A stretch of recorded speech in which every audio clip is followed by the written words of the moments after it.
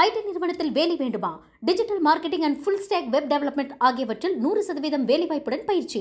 திரையில் தெரியும் எண்ணுக்கு தொடர்பு கொள்ளவும் அல்லது இணையதளத்தில் பதிவு செய்யவும். சென்னை பெரும்பாக்கத்தில் இருபது மாடி குடியிருப்பில் கார் நிறுத்தும் தரைத்தளம் முழுவதும் வெள்ளநீர் தேங்கியுள்ளதால் கட்டடத்தின் உறுதித்தன்மை கேள்விக்குறியாகியுள்ளது.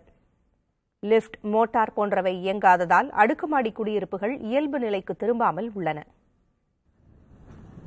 இருபத்தைந்து ஏக்கர் பரப்பில் ஆயிரத்து ஐநூறு வீடுகளுடன் இருபது மாடிகள் கொண்ட அடுக்குமாடி குடியிருப்புகளில் பத்தாயிரத்திற்கும் அதிகமானோர் வசிக்கிறார்கள். நான்காம் தேதி பெய்த கனமழையில் பெரும்பாக்கம் ஏரி முழுவதுமாக நிரம்பி அதிலிருந்து வெளியேறிய மழைநீர் இந்த அடுக்குமாடி குடியிருப்பை முழுவதுமாக சூழ்ந்தது. தற்போது தரைத்தளத்தில் மழைநீர் வடிந்தாலும் அடித்தள சுரங்கத்தில் தேங்கியுள்ள நீரை வெளியேற்றுவது மிகவும் சவால் நிறைந்த பணியாக உள்ளது. அடித்தளத்தில் நூற்றுக்கும் மேற்பட்ட கார்களும் நாற்பது இருசக்கர வாகனங்களும் சிக்கியுள்ளன. மேலும் பத்து நாட்கள் மழைநீர் அடுக்குமாடி குடியிருப்பின் அடித்தளத்தில் தேங்கியிருக்கும் பட்சத்தில் இருபது மாடி கட்டடத்தின் உறுதித்தன்மை கேள்விக்குறியாகும் என்ற அச்சம் நிலவுகிறது. திங்கக்கிழமை அங்க வந்து பிரீச் ஆயிடுச்சு. தண்ணி வந்து அந்த ஏரியில இருந்து இருக்கிற தண்ணி வந்து பிரீச் ஆகி அந்த ஃபேஸ் த்ரீக்குள்ள கம்ப்ளீட்டா நிறைஞ்சிருச்சு.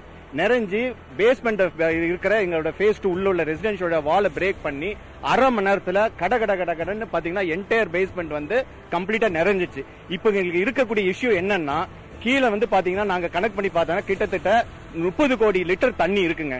நாங்க எங்க சைடுல எவ்வளவோ கஷ்டப்பட்டு அரேஞ்ச் பண்ணதுல ஏற்கனவே இருக்கிற பம்ப்ஸும் வெளியே இருந்த பம்ப்ஸும் மொத்தத்துல ஒரு ஆறு ஏழு பம்ப் வந்து பாத்தீங்கன்னா இப்ப ஆப்ரேட் பண்ணிட்டு இருக்கு.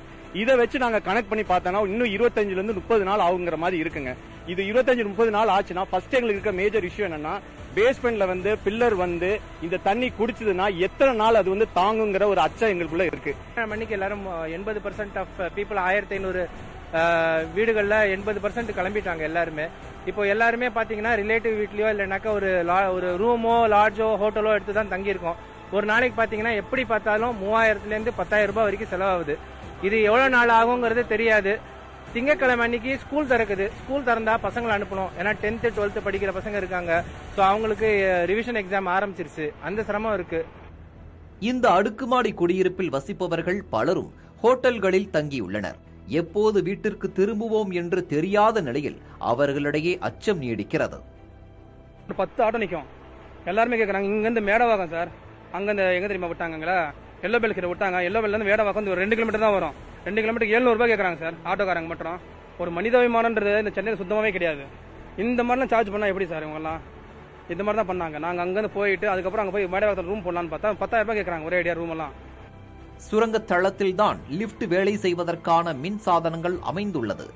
மேலும் அடுக்குமாடி குடியிருப்புக்கு தேவையான நீர் கொடுக்கும் மோட்டார்கள் அடிப்பகுதியில் இருப்பதால் நீருக்கும் அடிப்படை பொருட்களை வாங்குவதற்கும் தவிப்பதாக இந்த மக்கள் வேதனை தெரிவிக்கின்றனர். பெரும்பாலான அடுக்குமாடி குடியிருப்புகள் இன்னமும் இயல்பு வாழ்க்கைக்கு திரும்பாமல் உள்ளன. அந்த அளவிற்கு இங்குள்ள திட்டமிடப்படாத கட்டுமானங்களும் நீர்நிலை ஆக்கிரமிப்புகளும் இந்த மக்களுக்கு பெரும் தலைவலியை ஏற்படுத்தியுள்ளது. புதிய தலைமுறைக்காக ஒளிப்பதிவாளர் விஜயுடன் செய்தியாளர் ந. பாலவெற்றிவேல். ஐடி நிறுவனத்தில் வேலை வேண்டுமா? Digital marketing and full stack web development ஆகியவற்றில் நூறு சதவீதம் வேலைவாய்ப்புடன் பயிற்சி. திரையில் தெரியும் எண்ணுக்கு தொடர்பு கொள்ளவும் அல்லது இணையதளத்தில் பதிவு செய்யவும்.